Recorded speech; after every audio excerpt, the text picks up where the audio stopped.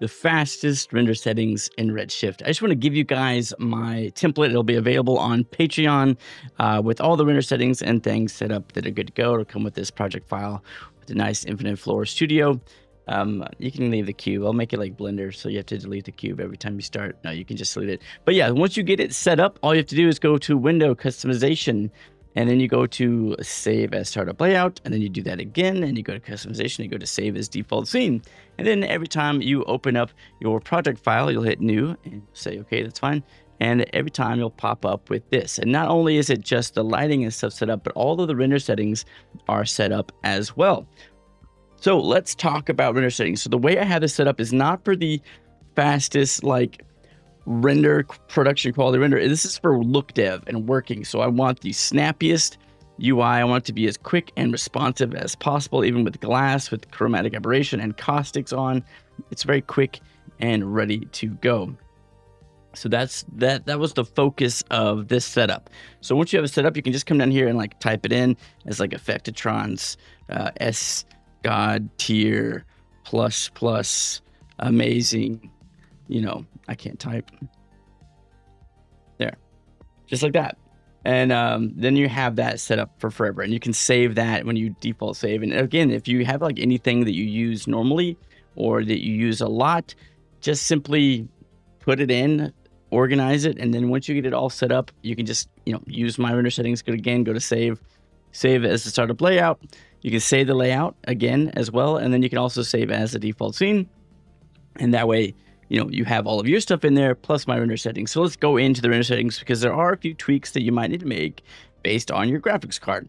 Okay, so we'll talk about those really quick. So basically, this is all set up so that we have the fastest progressive uh, IPR set up with the denoising on as well. So by default, denoising I have it set to OptiX, which means you have to have an RTX card. If you don't have an RTX card, use OIDN.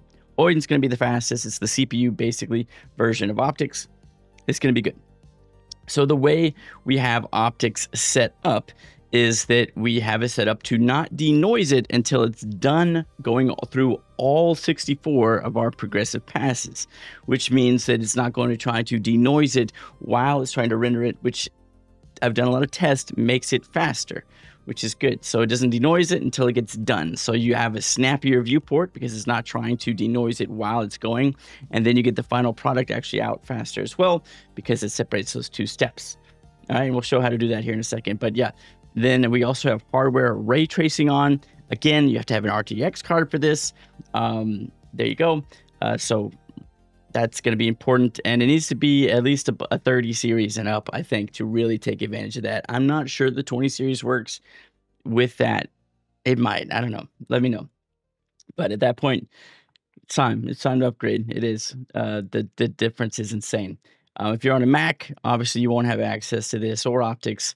You'll be stuck with OIDN or Altus Single is what I would suggest using for the final product because Altus Single gives you the most detail and stuff for shots like that where OIDN is more your fast thing. Okay, but then what I'm talking about with the advanced settings is we have it also set up so that um, everything is good to go for animation, not just still images, which means we have random noise pattern off because by default that is on. We also have automatic sampling off right now, which is it's just kind of limited to really low samples, just again to give you the fastest, fastest, fastest. So it doesn't have to do any calculations. It's just like, boom, this is it. You can turn on automatic sampling. It probably, eh, you're not going to see that big of a difference when it's these small of renders and stuff. So definitely you can turn on automatic sampling if you want and then just save that. So again, if you don't know what automatic sampling is, basically, rather than messing around with your samples min and your samples max, it does it for you. So you don't have to. So all that matters when you go to render time is whatever this threshold is. And this bucket quality threshold is your noise threshold. The higher the number, the more noise your scene is going to have, meaning the more grain and stuff like that. And the more grain as if it is, the more errors that can be caused by denoising because it's going to try to smooth things out that maybe don't need to be smoothed out.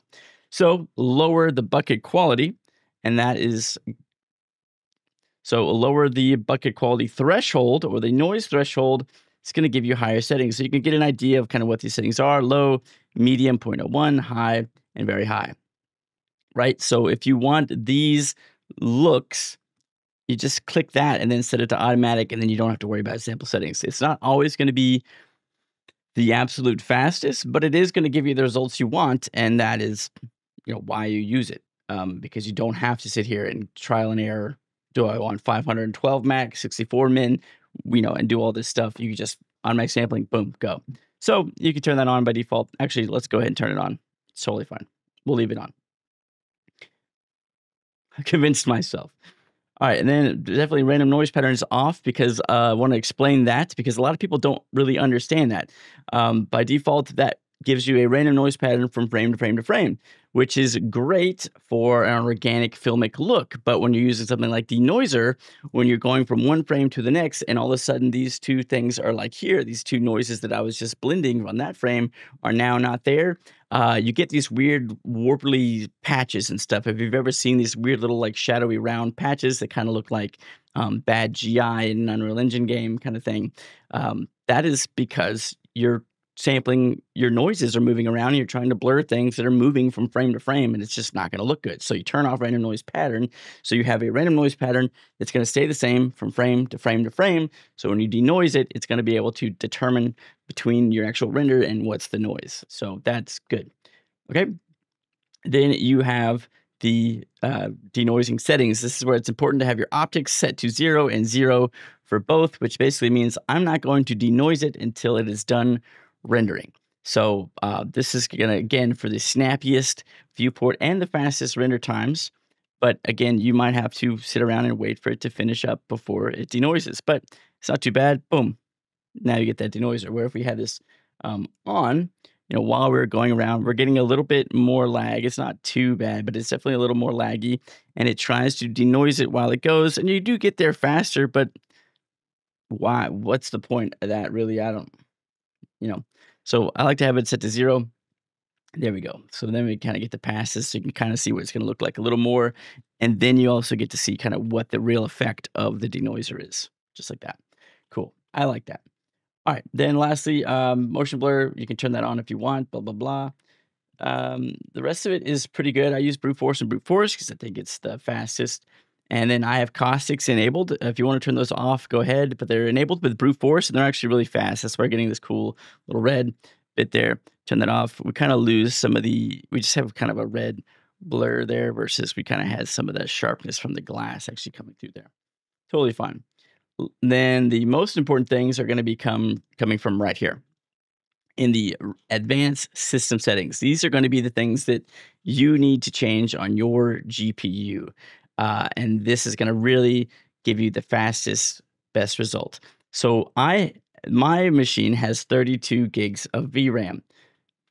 Little little spoiler for the reveal of my new build, um, because my 3090 died. Okay, so basically, bucket size. If you have over basically 16 gigs of VRAM, 512. Boom. If you're not using 512 and you have that much VRAM, you are literally just wasting time. You're, you're rendering with the hand tied behind your back. Um, 512, basically the bucket size is just going to affect literal size of the buckets. You can see these boom, boom, boom. But 512 is going to go faster, right? Because we have a bunch of VRAM. Now, if we go down to 64 and do it, we get this little bitty. Now, if your machine only has 8 gigs of VRAM, 64 is probably almost always going to be too low. I mean, honestly, unless you're like in a 20 series card or something. But see, that took 12 seconds, 0.89, whereas at 512, boom, boom, boom, boom, boom. We'll see how long that takes. Remember, it was 12.98 for that, and it was 7.56. So that's pretty big jump just by changing the bucket size. Now, 256 is probably the sweet spot if you have like a RTX card that ends in like a 80 you know, like a 3080 or 4080, something 256 is probably going to be the best because that's like the 512. Now, that was actually 7.07. So that's like actually even faster than the 512. And then again, it is kind of based on the renders. And sometimes when you do do these things like back to back to back, that you do get different results. Boom, nine seconds for for 128. So maybe 256 is the sweet spot for certain scenes. So definitely do these tests and check those out yourself. 7.6 for that time. And then we'll go back to the 256, see if it beats 7.6. Looks like it's going to. And boom, 7.1. And back to 512.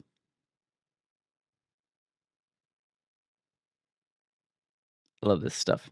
7.6. Yeah, so 256. You know what? I'm going to leave it on that by default. Uh, that way, if you don't have like the a 90 series card, you should be fine. If you do have a Mac, like a metal, um, 256 should be good for you as well, actually. So we'll leave it at 256. Um, do that. But then if it's you see it's kind of throttling it or whatever, go down to 128 if you need to. Now, why I have it set to horizontal instead of spiral or Hilbert is because I find that horizontal is slightly faster. So that was 7.18 at horizontal. Switch it to spiral. These are tests that I do, and maybe you haven't done um, because spiral is set up by the default settings, and that was 7.3. That's 0.3 seconds almost of for just changing the way it order the order of it. Like, why does that make sense? It doesn't to me. But there's 7.5 when you set it to Hilbert. But at horizontal, we shave off almost half a second. And that was from 7.5 to 6.8. So we did. We shaved off over half a second just switching it to horizontal. Um, doesn't make a lot of sense, but there you go. That's what I found out. So again, these aren't the default settings. They should be, uh, I think. So that's why I'm setting this up. And then as far as the rest of it goes, you want to make sure in the legacy settings that automatic displacement is off. That's off by default in this because it just jacks stuff up. And then memory wise, we're good. You can lower if you start seeing a little lag or whatever. Um, you can start you know, bottlenecking this down, I'd go down to like 70% or something like that, especially if you're doing something with Sims and stuff. But yeah, that's kind of the quick and dirty, you know, that's how you set it up for your machine, basically. And I go more in depth in it in the Mind and Motion workshop um, and the intro class as well. But overall, that's the big thing. And then this stuff, that's you do you. I don't know what kind of files you want to export out and stuff like that, but there you go. So that is going to be how you set that up. So once you get it kind of set up how you want it, obviously you just, again, you can save it to whatever as whatever you want. Go to Window, Customization, Save as Default Scene, Window, Customization, Save as Startup Layout. There you go. Cool. Cool. This will be, again, available for download on Patreon, as well as all my other stuff and a bunch more stuff coming too. Enjoy.